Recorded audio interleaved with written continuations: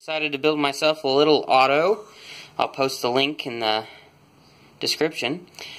Um, so this guy's got sonar vision and four servos that allow him to walk.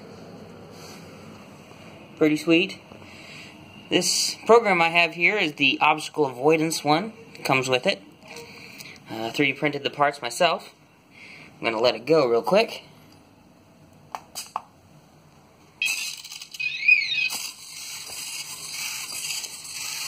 In a second it's going to see that wall.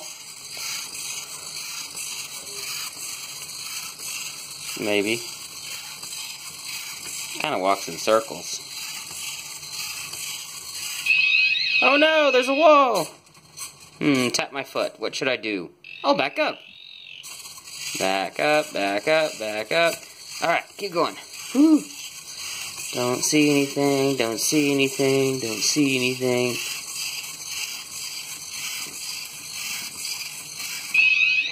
Oh no! There's something! Hmm, what should I do? Oh, back up! And that's it. A simple little program. Fun little toy for kids.